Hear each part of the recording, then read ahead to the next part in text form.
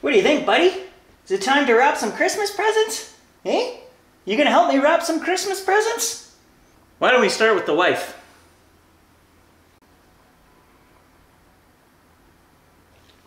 It's funny you ask.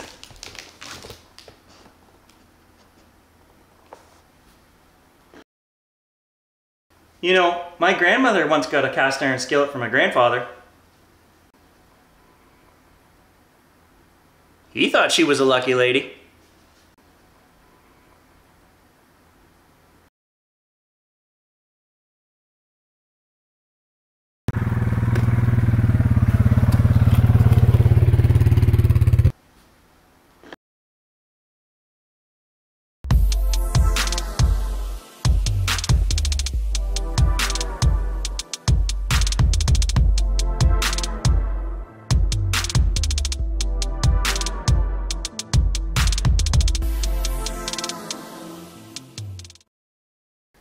Good morning, guys. Up bright and early. We were expected to get 20 inches of snow last night. We didn't get it. We got maybe three, maybe three and a half inches of snow. But I still need to try out the new uh, four-wheeler and plow system. So I'm going to do that. This just means that we're probably going to get more snow later today. So this is kind of like a day in the life of Gary video. Um, I also wanted to mention, I don't understand this. Before we had any snow yesterday, we had our little, you know, one centimeter, less than half an inch for all my American viewers. They canceled the buses last night before it even snowed. Do you guys remember when you were kids, the school bus plowing through three feet of snow? You know, if a car was stuck on the side of the road in front of them, they would just push it out of the way and keep going. Like you got to school one way or another. This is a true story, okay? The bus picked us up, ended up in the ditch, kind of on its side because we slid right off the road. The bus driver went to use somebody's phone because there were no phones in the day. We lived in the country. She probably had to walk a mile to get to a phone. Everybody cleared out the back of the bus. The older kids opened the back door and said, Forget this. We all walked home and got a day off. And that was the only day we ever got off, a snow day. And it was not an official snow day. The bus system here last night canceled all the buses before it even snowed. And this in the last four or five years has become the norm. For all my snowblower and plower viewers out there, you guys will know that this is irksome, right? When the wife's got to get up at 5 o'clock and go to work, she doesn't understand. Wake me up, I need to snowblower plow before you go. Because once she does that, it messes up the whole system because what happens is they pack down the snow there and then eventually they pack it down so many times you get these two humps in the driveway. And then all winter if you're pushing a snowblower up over the hump down the hump into the hump you're fighting it the whole time. It's terrible. And the women just don't understand. I love this system for a quick hookup and release. Uh, I've gone for two rides this week and it was a matter of seconds to unhook and hook the plow back up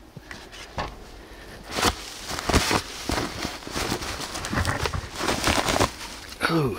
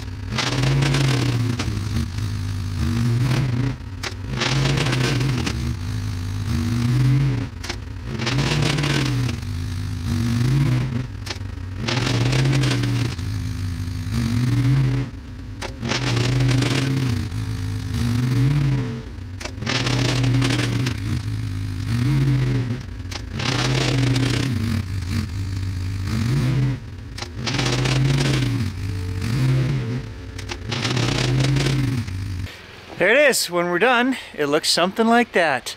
This is the second time Gary has had to do the driveway this year. Let's run a poll this winter just for fun. Vote below, guys. How many times this winter is Gary gonna have to do this driveway? All right, and this year we're really late. Probably by now I would have already done it six, seven, eight times. So this is number two. Vote below.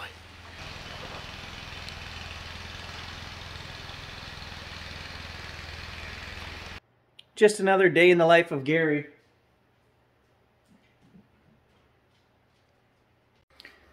Two hours of printer maintenance. Yeah, this is a job I love doing. Just ordered all new inks and the printer has sat here for a year because of COVID and now it won't print. Everything's clogged up. I'm trying to do cards for the office. Buy $60 in ink and then takes $30 of that ink to get the printer unclogged and working. I go through this every two years and I tell myself, why do I keep bothering? I don't know. don't make any money on cards anyway, but all of our patients complain if I don't keep the card racks full. I lose money on this stuff. I don't know why I bother. Anybody notice uh, that two of these aren't working? Guess which two I just replaced from this order that I spent 60 bucks on from inkjet.ca.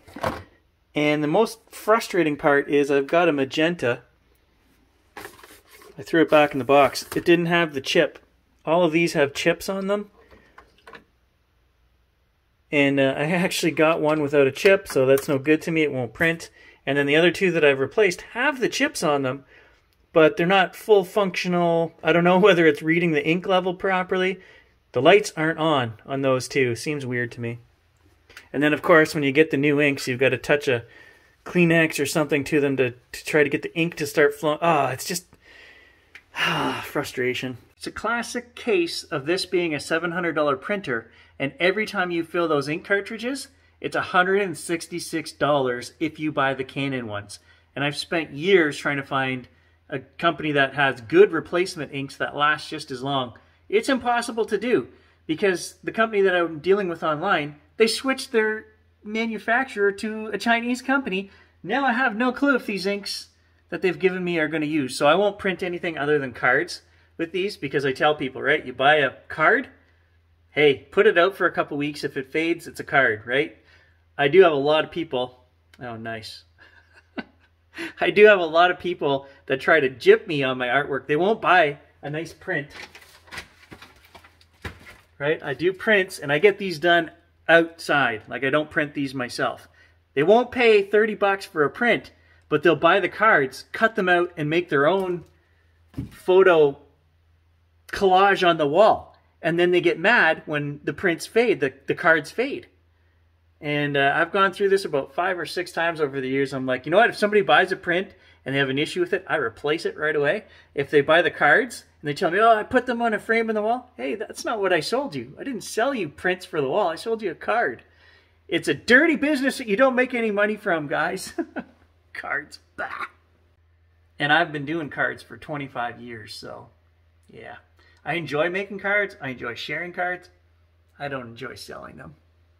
So as you can see, I've used half the ink and I have cleaned this print head 12 times using the software and it is not printing. So I'm going to take this out and try to wash it, clean it manually with warm water, making very sure not to get any water on those electronic contacts. Just warm water.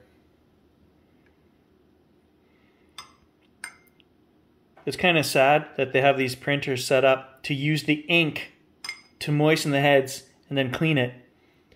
And so they have two modes. Regular mode, which uses a little bit of ink, and deep clean mode, which I've been using, which uses a lot of ink, 12 times, will burn through half your ink. So if you had bought Canon ink at 166 bucks, right, you'd be looking at $80 worth of ink just wasted trying to clean this head. So I'm going to recommend always take the print head out and just clean it like this manually. This one is really clogged. I've never had to do this before. Usually once or twice of cleaning uh, through software will clean it, but just another way these big companies screw us over, right? Look at how much ink came out of the bottom there. And I'm going to just repeat this process two, three, four more times until no ink is coming out the bottom.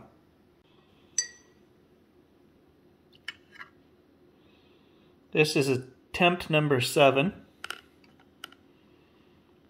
And you can see it's getting much cleaner at this point.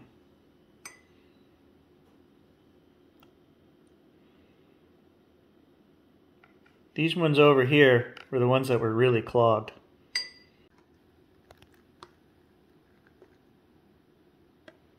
So there's still a tiny bit of ink coming out the bottom, so I'm going to do this one or two more times until it's even clearer than that. Final step is take the hair dryer and just dry it out so there's no water on top that print head anymore. We could just let it air dry, but I'm not that patient. Finally, after three hours of cleaning, I, I, crumpled and threw this out before I forgot to film it and show you guys. I think I fixed it. Yeah, it cost me about 40 bucks in ink though. Well, it's finally working. I can get busy printing cards. I've got about three hours worth of work to do to refill all my card racks now.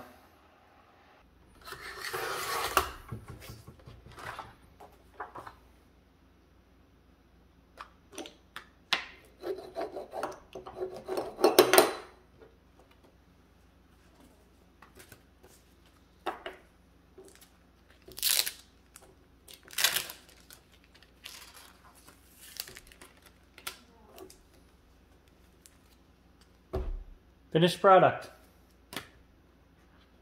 And repeat 600 times. Well, there's what four hours of your day will get you. Whole bunch of cards. Enough to stock up the office anyway.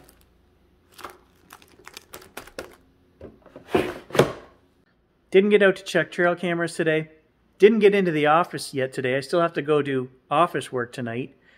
Um, didn't Gage and I didn't get out for an adventure today. This uh, printing and card restocking took the whole day. Thanks for tuning in, guys. More adventures to come. Catch you in the next one.